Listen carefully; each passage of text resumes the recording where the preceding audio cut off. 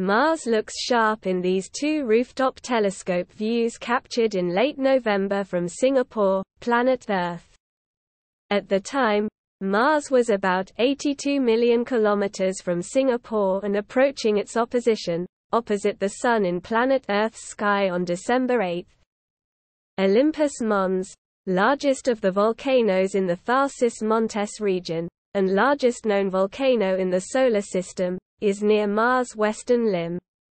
In both the images it's the whitish donut shape at the upper right.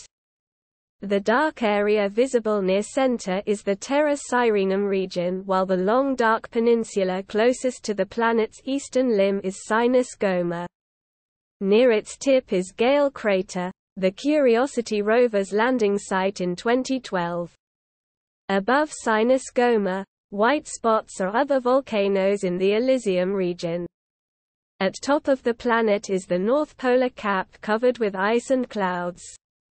Taken about two days apart, these images of the same Martian hemisphere form a stereo pair. Look at the center of the frame and cross your eyes until the separate images come together to see the red planet in 3D.